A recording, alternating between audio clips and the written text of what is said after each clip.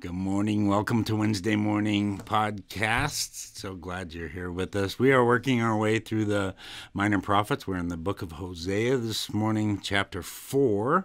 And so before we begin, let's pray and say, Lord, thank you, God, that you are so faithful to us. Thank you, Lord, that um, we just have this time, a little bit of time in the morning to to come and just absorb your word and to, to understand your nature and your love for us, God. So I pray that you would just bless our time together this morning in Jesus' name. Amen. So we're going through the book of Hosea, and, and we've gone through chapter three. Remember last week as we were finishing up, you know, God gave a, a prophecy yet fulfilled, if you will, that there the kingdom of the throne of Israel is still uninhabited to this day. Um, yes, they are in the land, but no, they do not have a king. The king is coming, and the king is coming soon. And he will set up his throne and his kingdom in Jerusalem. But then, as we move into chapter 4, everything kind of changes. This is kind of a.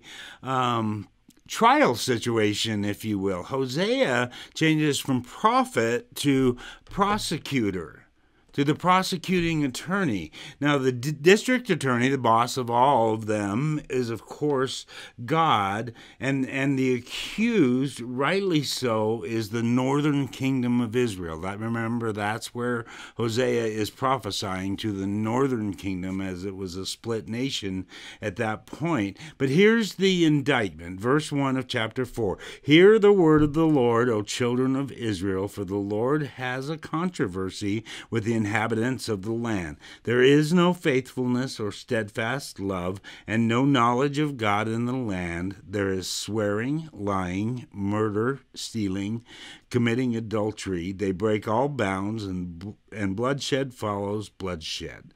So that is a pretty ravishing indictment. In fact, five of the Ten Commandments are listed as being broken in that in that particular verse alone, and and they are but they're not sins of omission, they're sins of commission.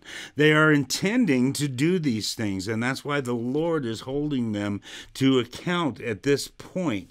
And it goes on in, in verse 3 and says, Therefore the land mourns, and all who dwell in the land languish, and also the beasts of the field, and the birds of the heavens, and even the fish of the sea are taken away. Yet let no one contend, and let no one accuse, for with you is my contention O priest.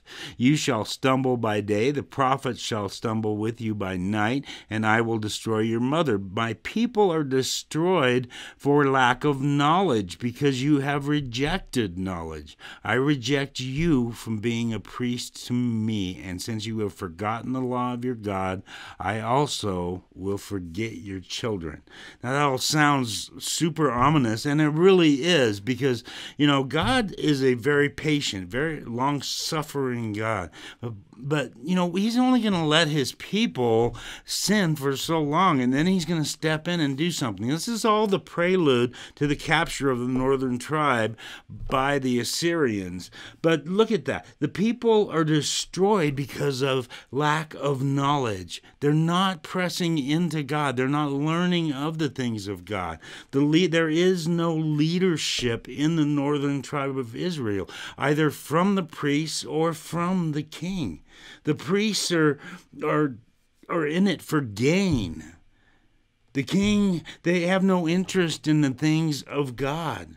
There's corrupt leadership, no knowledge of the things of the Lord. And then let's quickly close out with this, starting in verse 7 The more they increase, the more they send against me. I will change their glory into shame.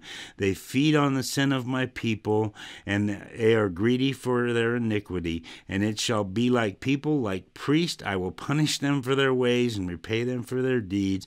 They shall eat, but not be satisfied. They shall play the whore, but not multiply, because they have forsaken the Lord to to cherish whoredom, wine, new wine, which take away the understanding. People inquire of a piece of wood, and their walking staff gives them oracles, for the spirit of whoredom has led them astray, and they have left their God to play the whore.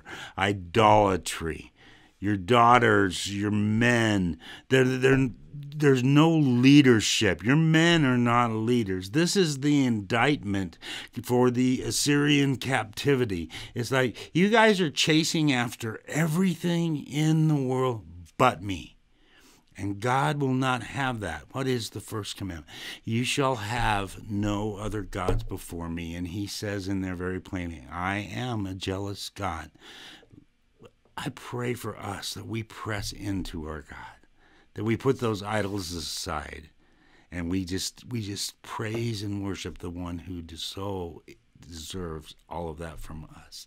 Let's pray and say, Lord, thank you, God, as we go throughout a day. We have the ability within us, and we constantly fall short of your glory, Lord. We mess up, but you have provided a way through the cross for repentance, for renewal, for refreshing of our spirit. And I pray for all those tuning in this morning that, God, there would be those things renewal, refreshing in their spirit as they press into you, Lord. You always, always respond. And so, God, just bless our day as we go. In Jesus' name, amen.